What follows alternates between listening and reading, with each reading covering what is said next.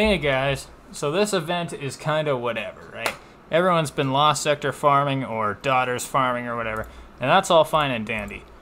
But thanks to the community getting tier 2, and the fact that you can donate treasure coordinates, as you can see there I'm at 0. 0 currently and 1993 donated. If you go into your Captain's Atlas, you can just sort of do this for a while. You make sure you have one that has treasure coordinates in it to begin it, and then you can just swap to any of them. Uh, I don't have enough map fragments to swap to the other ones, so we do this one. It's really easy, but you'll see my treasure coordinates number actually starts going up. Um, Duke discovered, I don't know, I think a month or two ago, it was kind of everywhere, but you just do this, you know, eventually you'll climb up to the cap or wherever you feel like stopping.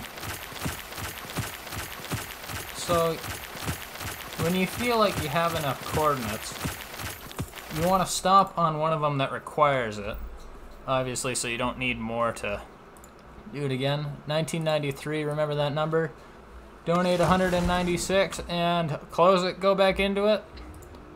Wow, look at that, we went up 200 absolutely the fastest way. Don't waste your time on Lost Sectors, and I would advise doing this before it gets patched if you're just here for the ghost shell. Um, you know, makes this dumb easy, or if you just want some more stuff from these boxes.